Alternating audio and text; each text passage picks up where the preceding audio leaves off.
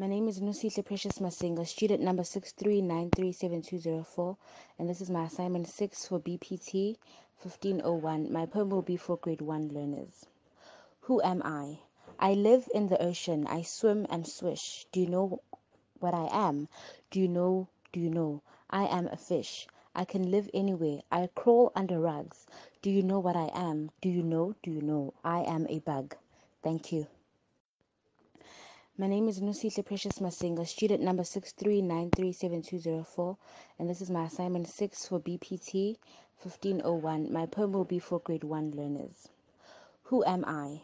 I live in the ocean, I swim and swish. Do you know what I am? Do you know? Do you know? I am a fish.